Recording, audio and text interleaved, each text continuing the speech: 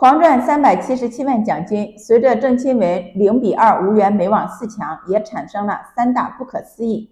到底怎么回事呢？聊一下这个话题。Hello，大家好，我是小周，我又来了。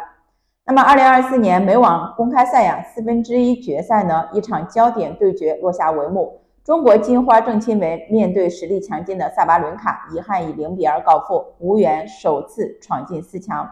尽管未能更进一步呀，但是郑钦文在本届美网收获颇丰，赚到了四百三十个积分以及五十三万的美元，约合三百七十七万元的奖金。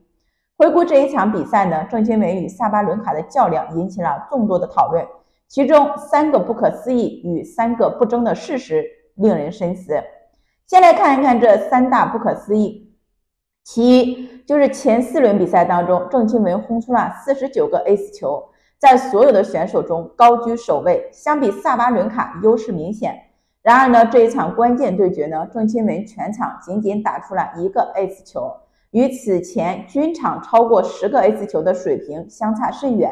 这一巨大的反差呢，也成为了他完败的重要原因之一。其二呢，就是克罗地亚选手维基奇与萨巴伦卡交手八次，赢了六场，可面对郑钦文却连输两场，而郑钦文在面对萨巴伦卡的时候却毫无机会，这种相生相克的局面着实让人意外。其三呢，就是郑钦文与萨巴伦卡的实力差距，但比赛结果呢却出人意料，第一盘呢是一比六，第二局呢是二比六，仅仅赢下了三局，这是郑钦文生涯至今。大满贯赛事当中最惨痛的一个失利。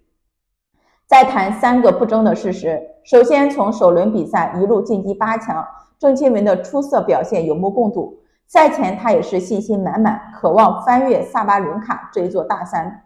但是真正比赛的时候呢，才深切体会到双方在发球、相持、底线等多方面的实力差距。郑钦文确实有很多需要提升的地方。其次呢，此次失利后，郑钦文面对萨巴伦卡已经是三连败了，且一盘未赢，均以零比二输球，毫无还手之力。那萨巴伦卡呢，无疑也成为了郑钦文面前难以逾越的一个高山。最后呢，就是郑钦文经过呃巴黎奥运会的历练，体能、心态和技术都有所提升，然而距离世界顶级水平仍然有不小的距离。若想实现首夺大满贯冠军这一个目标呀，他必须继续努力提升自己。郑钦文的美网之旅虽然已经结束了，但是他的征程呢却并未停止。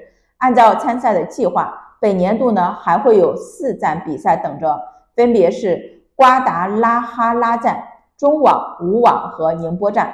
他需要在这些比赛当中多抢积分，才有机会首次冲进年终总决赛。对于郑钦文来说呢，这一次美网的经历既是一次挑战，也是一次成长的机会。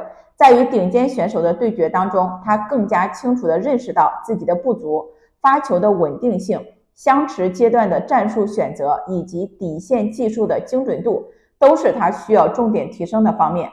同时呢，面对强大的对手，心态的调整也是至关重要的。